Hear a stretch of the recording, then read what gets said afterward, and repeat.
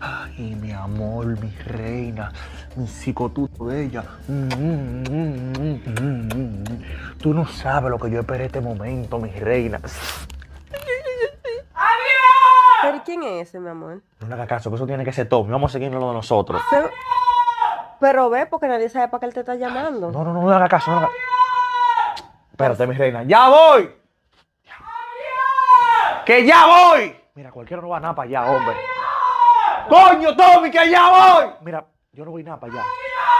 ¡Ya! ¡Maldición! ¡Ya voy! ¡Te dije que ya voy! ¡Ya! ¡Ya! Espérate, mi amor.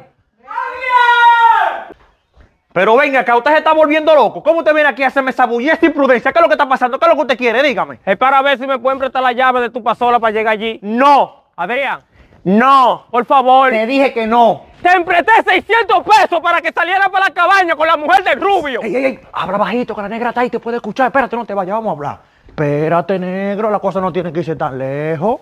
Pero venga acá, mi hermanito, lo que le pasa a usted. ¿Tú no sabes que yo a usted le pague sus 600 pesos ya? Sí, pero yo le hice un favor a usted. ¿Qué? Que yo te hice un favor, empréstame la llave de la pasola, que, que voy a tener una No, emergencia. no, ¿Tú no me vas a emprestar la llave de la pasola? no. ¿Tú no me vas a emprestar la llave de la pasola? ¿En serio? Está bien, yo voy a hablar con el rubio. Ven acá, ven acá, ven acá. ¿Qué es lo que tú necesitas, mi hermano? La llave de la pasola. Pero ven acá, toma, pero eso sí. Cuídamela, que tú sabes que esa pasola está nueva, Tommy, oíste. Cuídame la pasola, oíste. Cuídame la pasola, Tommy. No te digo eso.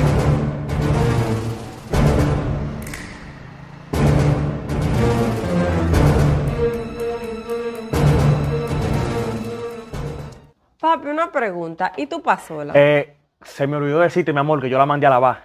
Ah, que la mandaste a lavar. Pero qué raro, mi amor, porque tú no eras de mandar a lavar tu pasola con nadie. Sí, lo que pasa era que estaba muy rápido, entonces yo quería venir para acá, para donde ti, tú sabes, para estar contigo aquí en la casa. Ay, qué lindo. Pero está bien, déjame hacer algo ahí en la cocina. Está bien, mi amor, dale.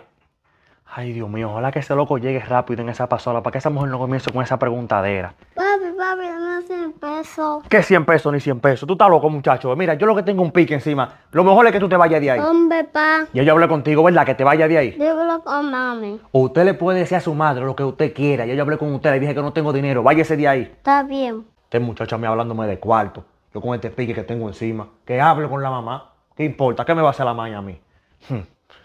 Dime, mi niño, ¿qué es lo que tú quieres decirme? Porque veo una cosa. Para que yo vea una cosa. ¿Y qué cosa, mi niño? Un video. Ah, un video. ¿Y dónde está? Aquí en mi celular. Ven, pásamelo, déjame verlo. ¿Qué es lo que usted quiere? Dígame. Es para ver si me pueden prestar la llave de tu pasola para llegar allí. No. Adrián.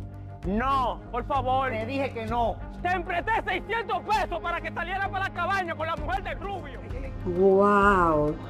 Adrián me ha sido infiel todos estos días.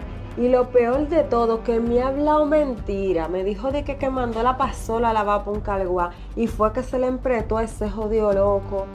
Diantre, pero tú verás. Perdió más por lo menos.